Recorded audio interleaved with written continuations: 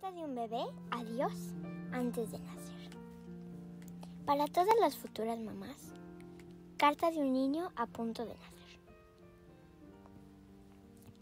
Cuenta una leyenda que un niño estaba por nacer y un día Dios y un día le dijo a Dios: Dicen que me vas a enviar mañana a la tierra.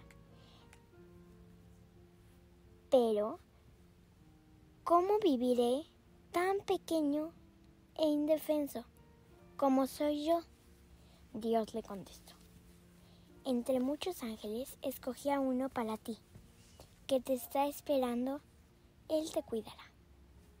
Pero dime, aquí en el cielo no hago más que cantar y sonreír.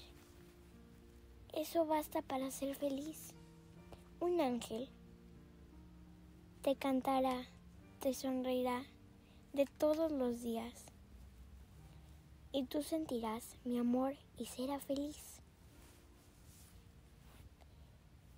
¿Cómo entender cuando la gente me hable si no conozco el extraño idioma que hablan los hombres?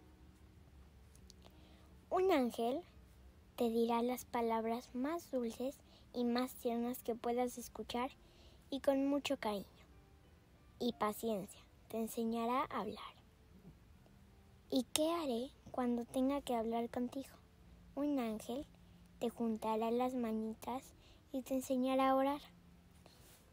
He oído que en la tierra hay hombres malos. ¿Quién me defenderá? Tu ángel te defenderá a costa de su propia vida. Pero estaré triste porque no te veré más. Tu ángel te hablará siempre de mí y te enseñará el camino para que regreses a mi presencia.